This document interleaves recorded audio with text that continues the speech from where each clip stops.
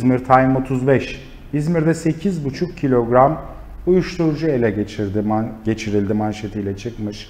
İzmir'in iki ilçesinde düzenlenen uyuşturucu operasyonunda 8,5 kilogram esrar ele geçirildi diyor. Gündem 35.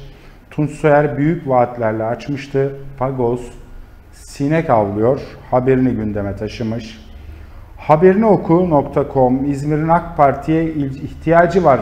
İl Başkanı Kerem Ali sürekli Foça'da yaşanan su sorununa dikkat çekmiş ve İzmir'in AK Parti'ye ihtiyacı olduğunu belirtmiş. Haberinoku.com'da manşetine taşımış. Son kale Karşıyaka bildiğiniz gibi diyor. İğne atsan yere düşmez.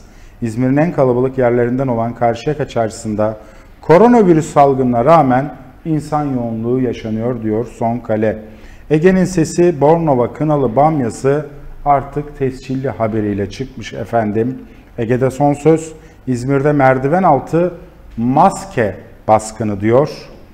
Ee, Karabağlar ilçesinde polisin ruhsatsız maske üretimi yapan bir iş yerine yaptığı baskında 92 bin maske ve maske yapımında kullanılan 125 rulo kumaş ele geçirildi diyor Ege'de son sözde A3 Haber.